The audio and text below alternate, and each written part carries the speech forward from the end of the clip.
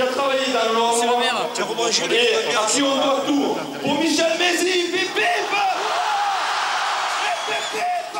Malgré l'euphorie, Michel Mézi quitte le club quelques jours plus tard.